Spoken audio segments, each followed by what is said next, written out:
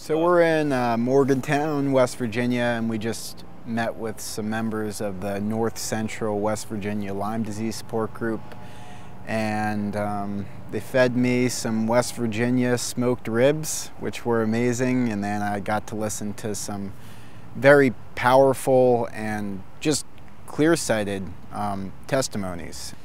You know, this is kind of the point of the trip where I get to reflect and make sense of everything and, you know, kind of tell you some of the revelations I've made. Um, but I, I think it's more important that you just listen to what was said to me earlier.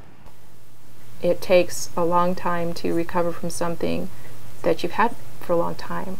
Um, and I believe very much was there was an, an analogy given to me a long time ago that it's like peeling an onion and if you do it all at once you're going to kill kill a person Mm-hmm. and make you very very sick and actually put you in a worse state. But if you do it a layer at a time then then you actually can survive. Um, and this is why I understand that it's chronic. I understand that once you are you know in tertiary, tertiary phase once you have so many co-infections with it that you can't really sort out one from the from from the next that yes okay chronic. But for me I won't accept chronic because in my mind that's stagnation Mm-hmm. and it means it's forever. Well, I'm going to keep peeling that onion until there's absolutely nothing. And I completely intend to live my new life.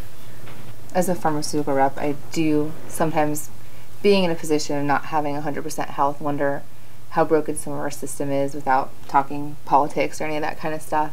I mean, it is kind of alarming that if you have acne, you can get as many antibiotics as you want for your face. Mm-hmm. But if you have Lyme disease, all of a sudden it becomes this big taboo thing that I didn't even know about until it happened to me. I mean, luckily I was under the care of a family physician that I was able to get that treatment. But I think a lot of Lyme patients, antibiotics aren't necessarily the answer for everybody. And like I said, um, the least expensive thing that I took was antibiotics. I went to a clinic this summer in Florida I was telling you about. That cost me 70 grand. Um, and it's not necessarily we need these antibiotics paid for, we need this paid for. I need something paid for. My advocacy is um, just helping others, um, networking, and we have a support group locally here. And um, I actually work for a physician um, who will treat Lyme disease, and I help other people. I give them support. Mm-hmm. Um, I listen a lot to what people experience, and I tell them what I went through.